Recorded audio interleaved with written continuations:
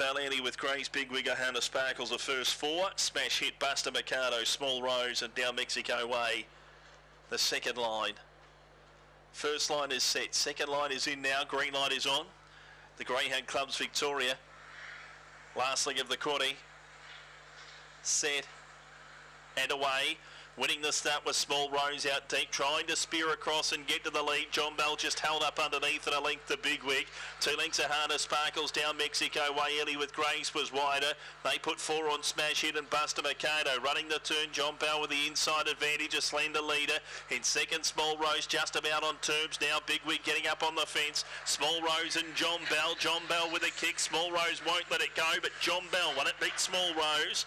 Big Wig ran third, down Mexico Way fourth and fifth across Ahana Sparkles and then Smash Hit Early with Grace. And Buster Mercado played little part in the race out the back, has finished at the tail 26.34 the run.